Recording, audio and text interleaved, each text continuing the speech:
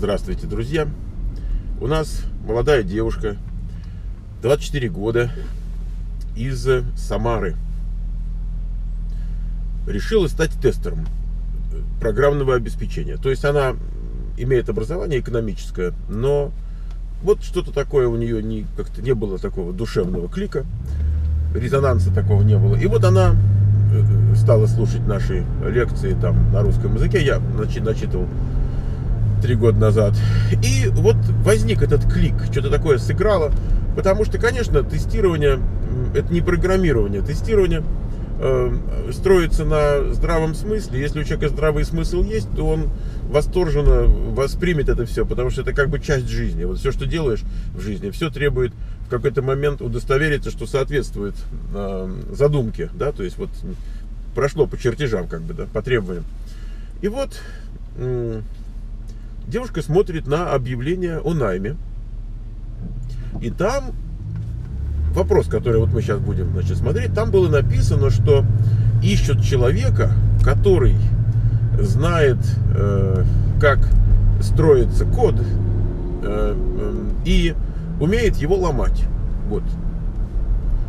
Значит, э, ну, как бы находить ошибки. Тут целый мир, целый ворох. Казалось бы, одна фраза, но тут целый ворох всего.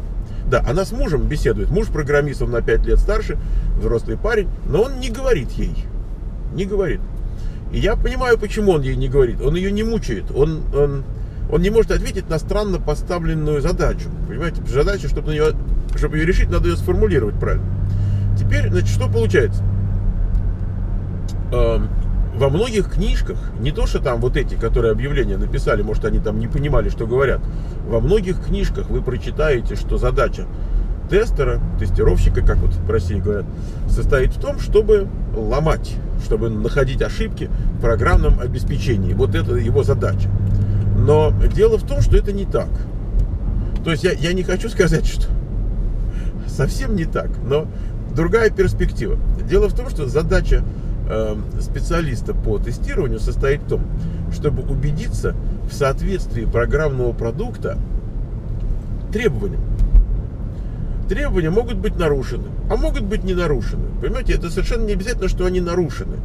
И сказать, что вот задача вот этого человека найти как можно больше нарушений – это не совсем так. Все-таки его задача состоит в основном, чтобы убедиться, что работает. Вы знаете, как эти самые минеры, э, саперы по полю ходят там, да, мины ищут. И, может быть, там и не было мин. Может быть, там было 3-4. Понимаете, не то, что на каждом метре там поменьше, но было 3-4 на большом поле. Они их нашли, поставили знак. Проверено, мин нет. Вот это работа тестера. Вот пойти с аппаратом, и сказать, проверено, мин нет, бубух. А если где была мина, значит сообщить кому надо, они ее рванут. Или там вывезут за город, или тут рванут. Это уже как бы отдельная задача. Поэтому э, сказать, что задача минера найти как можно больше мин э, сапера, э, это не совсем так. Его задача найти все мины, которые там есть, и убедиться, что поле соответствует требованиям э, по разминированию, например. Так вот, когда говорят, что значит, человек должен знать там код или там что-то, чтобы найти как можно больше ошибок и так далее, это, это не совсем так. Это следствие, это не, это не определение и не задача. Это следствие задачи. Конечно, когда ты проверяешь код на соответствие, а код этот пишется в тех чудовищных условиях, в которых вообще сегодня разрабатывается программное обеспечение, когда времени нет, когда нужно все делать быстро, когда протестировать толком-то не то, что там по-серьезному, а даже по мелочи э, иной раз времени нет. Они вот там на сервер кинут куда-то, и пусть там народ мучается и там сообщает чего, они там уже починят, понимаете? Поэтому вот в этих жутких условиях они говорят, ну найди, ну, ну найди там что можешь. Но есть серьезное программное обеспечение – Э, есть такое программное обеспечение, от которого зависит жизнь людей, например. Понимаете, есть э, э, программы, которые управляют полетом там, летательных аппаратов. Серьезные вещи есть. Экологические катастрофы могут случиться, если что-то там неправильно произойдет. Поэтому есть вещи, где нужно, да, очень серьезно по требованиям, как положено и все такое. Следующий момент вот какой. Когда говорят, должен знать, как работает этот софтвер, чтобы лучше, тоньше понимать. Тут я думаю, что русский язык, эм, он как бы очень сложный для, для того народа, который им пользуется. Вот, вот я бы так сказал. То есть э, люди говорят что-то, и вроде бы оно по-русски, и вроде бы мы все понимаем, что они хотят сказать, но, но это не так. Если мы спросим этих людей, как бы они ответили на свой собственный вопрос, ну, в данном случае на требования, которые они написали, это может оказаться такой банальностью, э, который яйца выеденного не стоит и не стоит даже упоминания. Вот, вот можно так сказать. Конечно, есть люди, которые делают тестирование, то, что, то, что называется white box, то, бел, белый ящик. Да, то есть они работают с кодом. Это человек с квалификацией программиста, который идет там, значит, э, по строчечкам там, или с дебаггером работает, э, то есть смотрит каждая строчка, как, как она там исполняется. Или он э, пишет какой-то код, который гоняет этот код. Есть очень много способов тестирования программного обеспечения со стороны э, программистов. Да? То есть white box тестер, он тестирует со стороны программистов. Есть очень много тестирования, сами программисты делают. Но, но это явно не та позиция. Поэтому я вам просто примерчик приведу. Ну вот, например, э, говорят, поле, там, zip-код, да, почтовый индекс. Э, zip-код обычно вот это 5 цифрок. Ну вот какие требования к этому, да? Первое требование, что это 5. Не 4, не 6. Это, это именно 5. Должно быть 5. Второе требование, что это цифры. Да, digits. Это не буковки, это не то, что называется special characters, там знаки при, препинания, там это пунктуации там, и так далее. Это вот из трех классов возможных значков, да, characters. Значит, characters бывает letters, бывает digits, бывает special characters. Значит, это только digits. Он, он больше ничего принимать не должен. Ну, сколько там тестов можно из этого дела вытащить. Да? Значит, соответственно, можно попробовать, что это там 5, и убедиться, что работает 6, посмотреть, что он, скажем, не принимает больше 5, а сколько не печатает, все равно 5, 4, ну, должен дать сообщение об ошибке, например, или кнопочка, которую ты нажимаешь, чтобы отправить, она должна быть э, disabled у нас называется, да, чтобы не работал. Ну и так далее. Ну, ну хорошо, три тест-кейса ты делаешь там с циферками раз, с буковкой 2, э, с там запятой 3. Ну вот, собственно, все. Ну дальше начинает, да, вот там говорят, надо знать, как устроено программное обеспечение, чтобы все ошибки найти. Мы говорим, ну хорошо, а давай тогда попробуем так. Вот он не принимает буковки, да? А давай мы пойдем там в Notepad где-нибудь напишем эти буковки, капи, а потом туда paste. И я вас уверяю, что из 10 разных мест, где вы попытаетесь это сделать, может быть в 7 в 8 он такие их примет. После чего вы сможете нажать там кнопочку, он какой-нибудь там или сообщение дурацкое даст, или никакого не даст, что еще хуже, и так далее. Значит, нужно ли для этого знать, как работает код? Нет. Что для этого нужно? Нужно однажды видеть, э, как это произошло. То есть наткнуться на эту ошибку.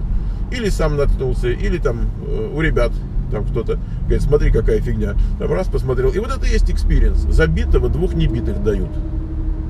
Чем он битый? Опытом битый. Он вот это видел, это видел, это видел. Он мог три года просидеть и не видеть ничего, кроме paycheck а, который ему там приносит, это все, что его интересует. А мог проработать три месяца и знать э, такое, что на, даже адекватный человек, может быть, за пару лет не знает. Вообще само измерение опыта работы в годах – это абсолютно, ну я, я не знаю, но уже дурнее ничего придумать нельзя. Потому что опыт работы это э, опыт того количества задач разнообразных, которые ты решал. Вот и все. То есть можно за год решить 10 разных задач, а можно за 3 года решить одну. Или даже не решить ее тоже. Я, я встречал людей, у которых там по 5-7 по лет опыта в резюме, и, и без дураков по 5-7. По 7. То есть не то, что нарисованный, и они не могут ничего. Ну, то есть вообще ничего. Я не знаю, там, за что их держали на работе. Может быть, так для объема бывает нужно, чтобы начальнику должность повыше была. Там. Я не знаю, честно. Но такие тоже есть. Так вот, э, мысль о том, что нужно знать, как работает программное обеспечение, чтобы лучше находить ошибки, при том, что ты не работаешь с самим кодом исходным, а, а работаешь, значит, с чем? Вот так чисто внешне, там black box, а, в, в, в текст филд что-то написал, там, я не знаю. А, да не нужно ничего такого знать. Не нужно знать, как работает код. Есть, есть тестирование так называемого серого ящика, gray box. Gray box это когда ты не как пользователь работаешь, а, и не как программист. А вот где-то там между ними. То есть ты знаешь больше, чем нормальный пользователь может знать, когда тестируешь.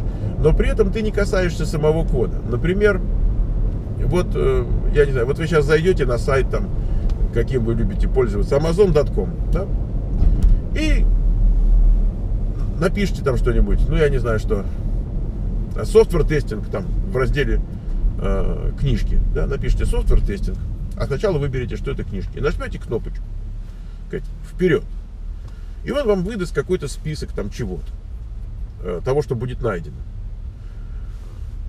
И это то, что нормальный человек видит и знает, когда он работает э, с, этим материалом. Но э, когда вы тестируете, вы можете, например, знать, что там где-то вот там глубоко, далеко на интернете, значит, есть некий веб-сервер. И вот на этом веб-сервере лежит куча файлов.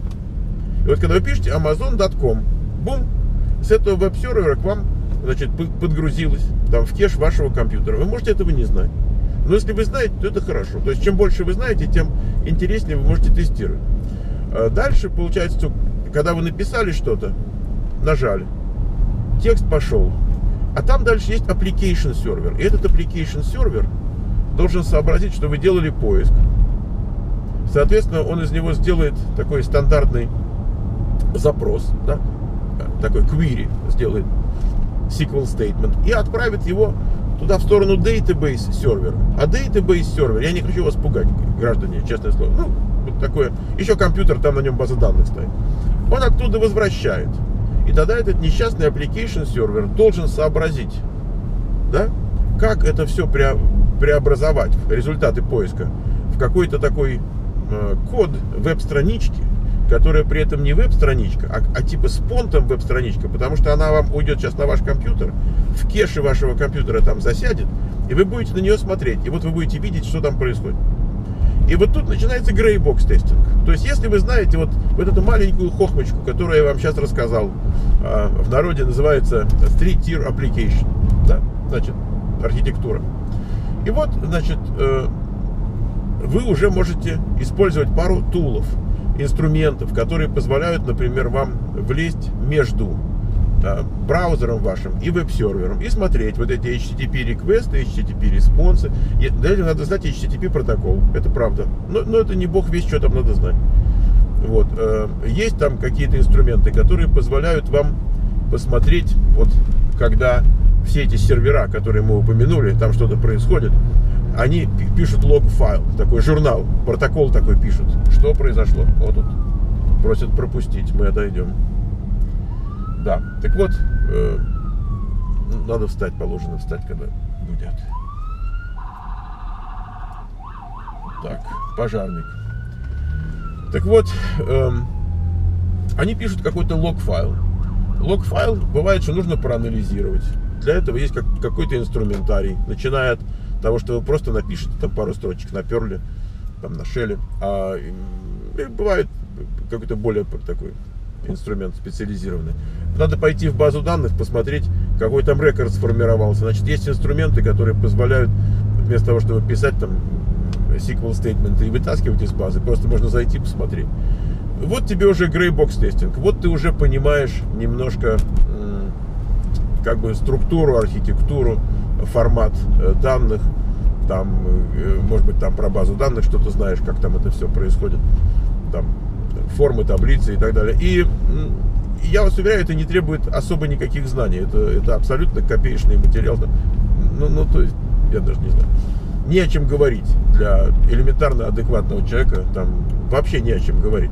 Если только не испугаться заранее до конца своей жизни, то там за месяц-два можно виртуозом быть этого всего.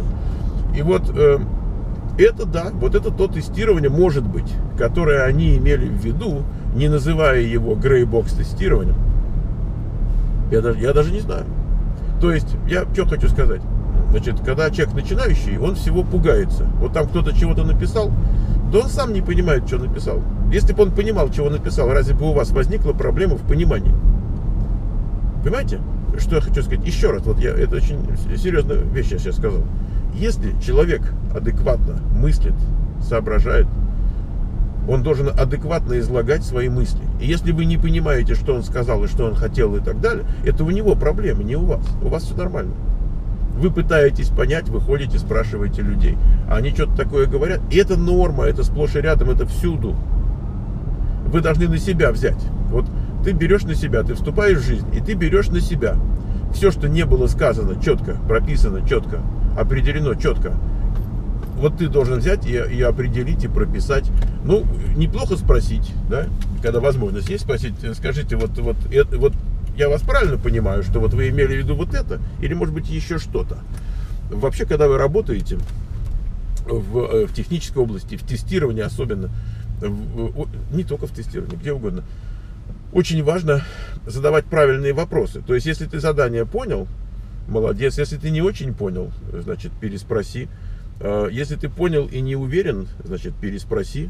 Но по-любому, даже если вы думаете, что вы все поняли, да, очень неплохо получить подтверждение от э, того, с кем вы работаете. Да, вот такими словами говорите, вот я, давай так, я тебе расскажу, как я тебя понял, а ты скажи, правильно или нет. Вот, собственно, э, я, я бы так посоветовал. Значит, девушки из города Самары, по-моему. Я, я, я очень извиняюсь, если город не то. По памяти все так на ходу прочитал перед э, выходом. Значит, девушки из города Самары, успехов, вот, чтобы работала хорошо, удовольствие от жизни получала, и мужа радовала успехами. Ну и не только, всем радовала. Счастливо.